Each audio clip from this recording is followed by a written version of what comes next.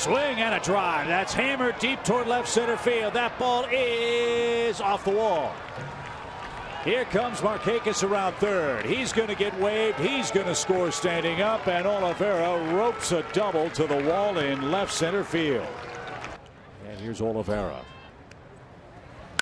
Swing and a high fly ball left. Sweeney going back at the track, at the wall. Hector Olivera's first big league homer has come in Philadelphia.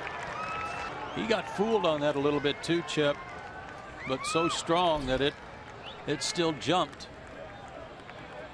First major league homer.